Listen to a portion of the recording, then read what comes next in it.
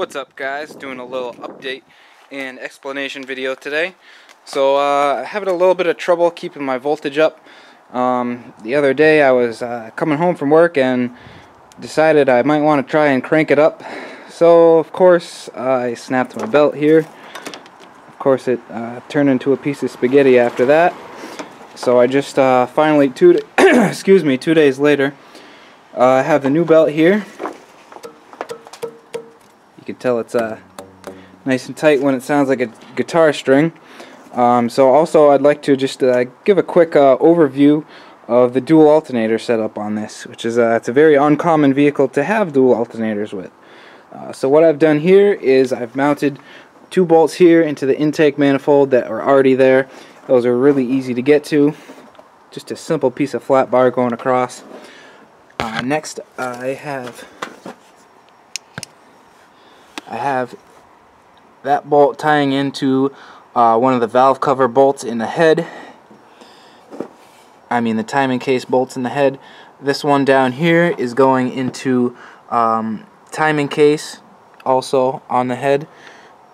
Then over here we have a bolt going also into the head which holds down the fuel rail and eventually they all connect to here and it supports the upper tab on the large case alternator. And I've taken the stock Subaru um, tensioner block and used that to tension my secondary one. And of course I had to make a new tensioner block. And also had to put in this idler pulley here to get the belt routing correct for uh, the um, power steering pump I just machined it out of a piece of steel, threaded in this bolt vertically for a height adjustment. This bolt here ties into the tab on this alternator, and the that is just threaded into the block as well. Completely stock crank pulley. What I'm going to be doing next is upgrading to a 6 rib 6 inch diameter if you know any engines with that uh, configuration, please let me know in the comments. Uh, this stock one is 5 inch and, or 5.33 inch and 5 rib, which is not quite cutting it. I'd really like a larger diameter. And then I have a custom pulley that I made here um, off out of a um, uh, I just—I forget what brand it is, um, but a pulley I just ordered online. It's actually very, very small. If you compare it to my hand, it's actually a very small pulley. It is 6 rib, so it is ready to go. And I cannibalized uh, this stock Subaru uh, 5 rib pulley to make it work.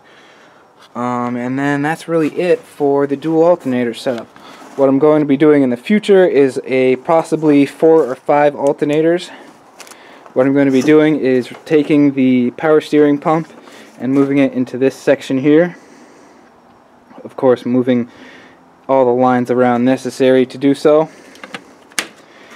And then I'm going to be putting a large case, hopefully moving this one over a little bit, another large case alternator here, and possibly another one or possibly two in these two locations here.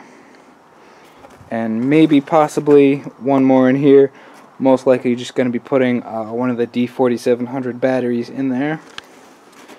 Uh, then that's really it. That's all the space I have. Of course, I'd like to do more, but I don't have exactly uh, all that kind of money laying around.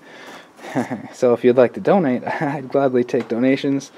Um, but that's not going to happen anytime soon. So for now, this is Inclined signing out. If you order decals, they will be coming very soon. I promise you that.